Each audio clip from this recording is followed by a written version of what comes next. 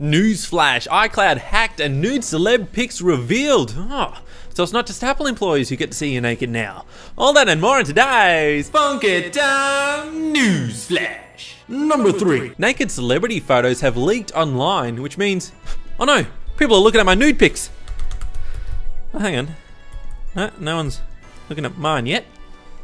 A number of celebrities' Apple accounts appear to have been hacked and some revealing photos they took on their phones are spreading on the internet. Hackers were able to access the iCloud accounts of many high profile stars like Jennifer Lawrence, Kate Upton, and Rihanna. And a tweet from actress Mary Elizabeth suggests that they were even able to download photos that had long been deleted from the user's device. The nude and semi nude photos first appeared on the website 4chan, but may have been circulating on the hidden or dark web for days. Kate Upton's attorney is threatening legal action against anyone spreading the star's private images, as if that'll work, while other celebrities are vocalizing their thoughts on Twitter. Apple, who are rumored to announce their new iPhone next week, have updated iCloud security, but have not made a statement, at least not at the time of recording, which is right now for me, but back then for you. Anyway, it makes me wonder why there's so many boobs on people's phones.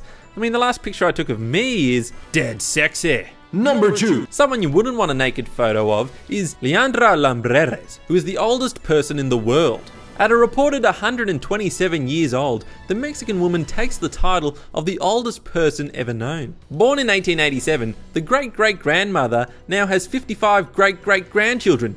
That's great. The family says that her secrets to long life were lots of chocolate, lots of sleep, and loss of no husbands. Of course, you may remember that earlier this year, I reported that 116 year old Misao Okawa was the oldest living person, and said this She is currently the oldest living person in the world, provided no one sneaks up on her. Ah, and there it is, confirmed. Ms. Lumbreras is a Mexican ninja. Number 1. We now finish with a cat with the laser pointer on its head. See, you have a cat there, and it has a laser pointer on its head. It's that dot there, you see. It's, it's that red dot that he wants, but the laser is on his head.